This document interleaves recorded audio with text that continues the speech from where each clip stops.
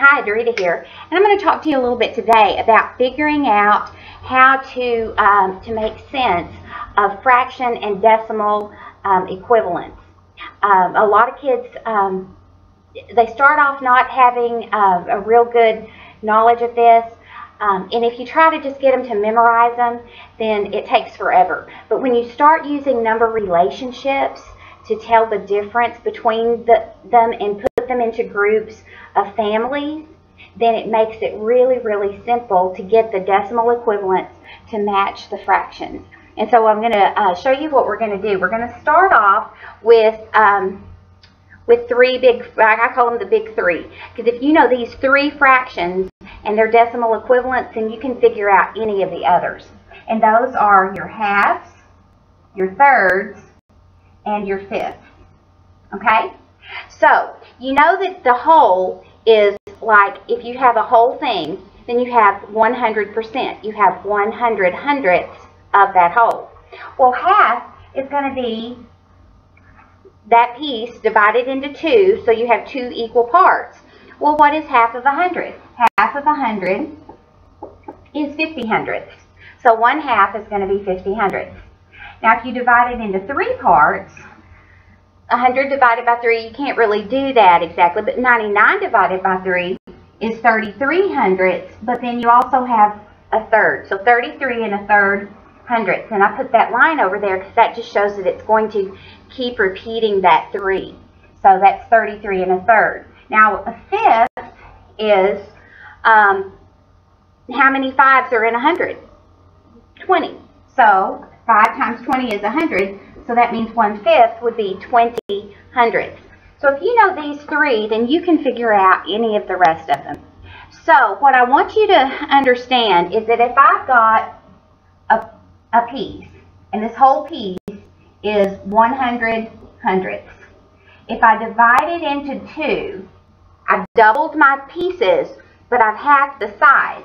So that means that each piece of this is 50 hundredths and 50 hundredths.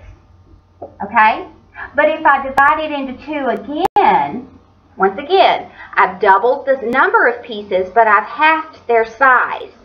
So that means now I've got four pieces. So that means that fourths are actually half of my halves. And so what's half of 50? Well, half of 50 is 25 hundredths. So that means that all of my fourths, their decimal equivalent, is 25 hundredths. And so because 25, 25, 25, and 25 equals the whole 100% or 100 hundredths in decimals. Now, what if I did that one more time? If I took each fourth and divided it into two equal pieces, then I would have eight pieces. So all of these are families. They're related to each other. Halves are related to fourths and fourths are related to eighths. Well, an eighth is half of your 25 hundredths. Well, half of 25 is 12 and a half. So that's the decimal equivalent for your eighths.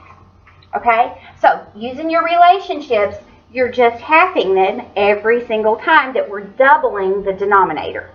So we half the decimal when we double the denominator. So now that we know that, when we go to our thirds, I'm going to double the denominator and I'm going to half my decimal. So half of 33 and a third is actually 16 and 2 thirds. But to do this as a decimal, 2 thirds would just round to 7. Okay? And then with my fifths, if 1 fifth is 20th, if I double my denominator, then I'm going to need to half my decimal. So 1 tenth is equal to 10 hundredths. So that was really simple.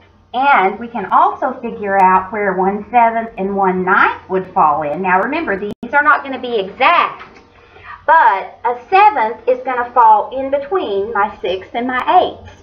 If my sixth is 16 and 2 thirds, and my eighths are 12 and a half, what's right in the middle of that? Well, what's right the middle of 12 and 16 is 14 hundredths. Okay? And then with ninths, they're going to fall in between the eighths and the tenths. And so I've got 12 and a half percent or 125 thousandths, and then 10. What falls in between 10 and 12? Well, 11 does.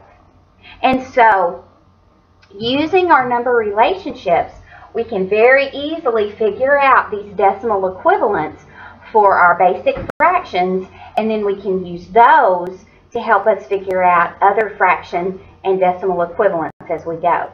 So I hope you enjoyed this. This is a, um, a real simple way to actually use your relationships and patterns to help kids remember because they don't have to memorize everything. If they can figure out these three, if they know these three, they can figure out the rest of them by using their relationships from the numbers. So um, please subscribe to my YouTube channel and uh, check out my blog at www.daretamccullers.org. And uh, we've got lots more really cool stuff to look at. So I'll uh, be putting these um, the new videos up very um, uh, quickly. And so there's going to be a whole lot to look at, and I would love to share it with you. Um, my mission is to help kids make math make sense. And so um, let me know if there's anything that, uh, that you would like to see or um, a lesson that you would like to see put up on um, the video, and I would love to do it for you. So um, thanks a lot, and I'll see you on the next video.